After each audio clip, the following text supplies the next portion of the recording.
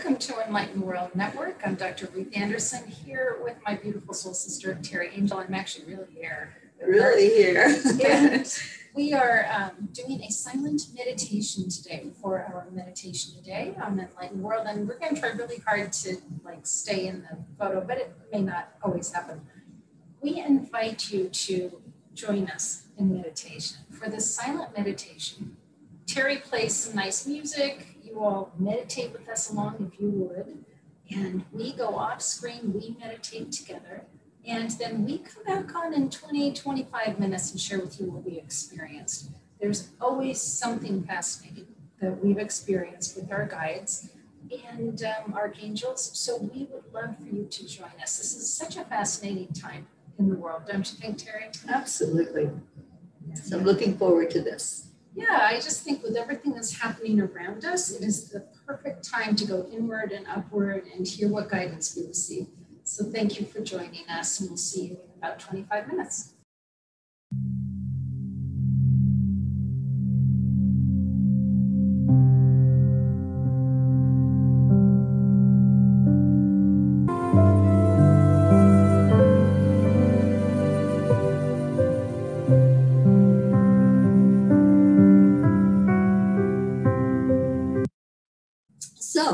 Meditation, Ruth and I sat with some other world beings and some divinity that came in to help us to try to put together what's happening at this time in our, our earth time. And from what we can gather, we are going into this new earth that we were being shown is forming. Just like when a star forms, it, it doesn't happen all at once, it's a process. And in that process, we're able to watch as that star changes colors, as it goes through the, the formation part of it, it shifts and changes. That's what's happening on our earth plane. We're shifting, we're changing. We saw a lot of orange that was there, we saw green. So we're trying to just really be very diligent at tuning in for the messages because we don't know everything. We don't know really anything yet, other than we are being shown things and we're being told. And it, it feels like we're just being taught. We're in the school and we're being um, given this information as fast as we can process it. Or faster. Uh, faster. and we're trying to just put it all together and put it down in words and put it in a, a way that we're able to share that with you more intelligently, probably than what I'm doing right now. But um, Ruth, does that kind of describe what our meditation was? I just disappeared. Apparently, Teri, you're on your own. Talking. um, yes, and I, you know, one of the messages from this morning is, I really do believe that we are having more awareness of folks here on the planet that may not have originated here on the planet. And some of them are friends that we know, might be family members that you know, and, and the veil is just sort of being lifted to that. So that's one thing. Another thing is we're also being visited by other worldly beings that we don't know. And Teri and I've been having the conversation of, well, does that mean you just let anybody in to your personal space? And the answer to that is no. In the same way that we are discerning when we listen to any being, even when you meet a new angel or you meet a new archangel, you ask the questions Is this in your best and highest good?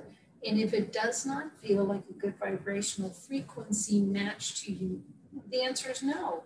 You don't just let them in. So that's crucially important. It is. Setting boundaries. Setting your boundaries. Just like you would with a physical person that's right beside right beside of you. Um, you're going to set boundaries with that person and they know what the boundaries are because of the interactions that you have and it's the same with any energetic being. You want to make sure that they are of love and light, that they are from pure source from God, And when we talk about these otherworldly beings, everything is part of the oneness. So everything that exists is part of what was created from our Creator. But just ask the question are you of love and light? Are you bringing in love or are you bringing in some of the darkness, some of the contrast that we are here to experience as well as light? So that's that's how you set a boundary. You ask the questions. You feel into it intuitively also with your energy. And you invite in your guides to be sitting there right next to you, hello, to have that conversation. Yeah. So really important message from this morning. Another, another it keeps shifting no matter where I go. That's okay. Um, another important message from this morning is that all that we are learning may require us to expand, expand in our understanding of in meditation. So this morning we were needing to go up higher, higher vibrationally, which is, I mean, we when we meditate, we go pretty high. And this was requesting that we go higher, higher, higher. And so I guess I'm just hearing that which you know to be true, be prepared to expand, if you will. Yeah, because one of the things, well, I've been shown, we've been shown already, like colors. There are colors other than what we are aware of. And now today we heard there are notes, frequencies, sounds that we are not yet aware of. But this is what's coming forth with all of this energy for the new earth. So, yes, the expansion, that's the word of the day, I think, for us to expand not just out, but to expand upward. Anything else, Ruth? And I want to say hello to Danielle. Hi, Danielle. Thank you for coming on. And Grace Isis. Grace Isis, Jasmine. Thank you all for being here. And if I think we really sit with those colors, the orange and the green, of course, we are thinking about the chakra system and the heart space and the second chakra represented by orange with the creativity and the emotions and this this space of the new earth that we were being shown and goosebumps and i don't even know where i'm going with the rest of the sentence um, really is connecting in with with what is coming in for ewn third channel one with the earth so we're anxiously hearing what this is meaning for us. But, but this requires all of us to be on our A game.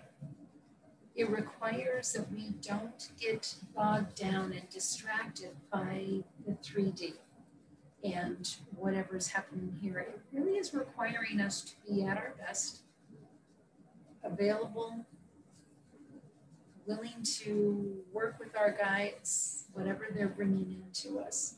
So I encourage all of you, rise up. That's what we keep being asked to do, rise up. And be open-minded. That's the other thing. Don't just shut down an idea because it sounds foreign to you. Explore and ask the ask the questions, the all important questions. This Is this for my best and highest good? and you'll get the answers.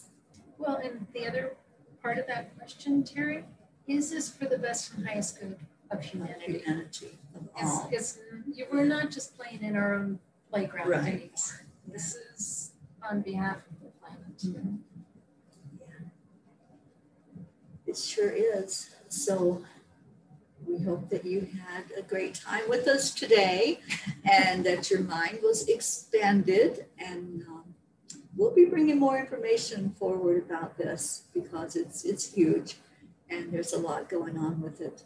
And it's here. And it's here. It's here. Yeah, it's happening. So much love to each and every one of you. Thank you for being here, whether you're listening to this live or after the fact. And there is so much growth here at Enlightened World Network. We're just trying to keep up with you all. Um, yesterday, Danielle Prue launched EWN Francais and it is a bilingual French English channel. and we're hoping to expand that. We're hoping to expand to Italian, um, Spanish for sure, and other languages as well. This is one world coming together in a spiritual, transformative way.